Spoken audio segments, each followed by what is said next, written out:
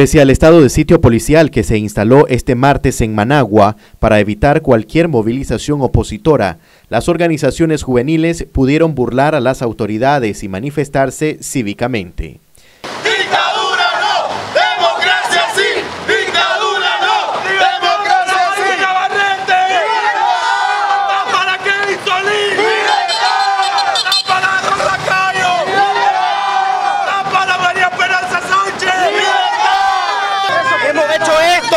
Nombre de los presos políticos exigimos la restitución de nuestros derechos, la libertad, la justicia en este país. No podemos continuar así.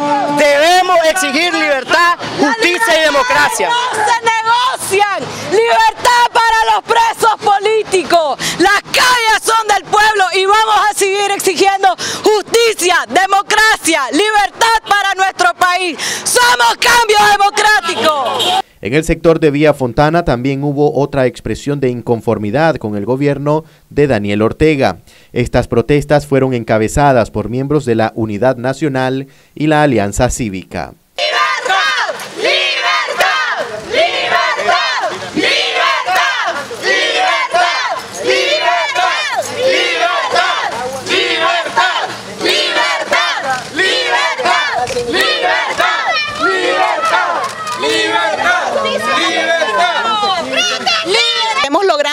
La represión y el terror que le tiene el régimen precisamente a que el pueblo vuelva a las calles y a la gran coalición y a la, a la unidad de toda la oposición en este país. ¿Qué reportes tienen ustedes de detenciones o agresiones a activistas opositores? Bueno, han habido más de 12 eh, secuestros el día de hoy, lo han soltado, pero lo han agredido. Tenemos periodistas y reportes de periodistas también agredidos, Noel eh, y Lawrence, y, y tenemos reportes también de gente golpeada, así es, en los distintos plantones. ¿Sigue la resistencia cívica?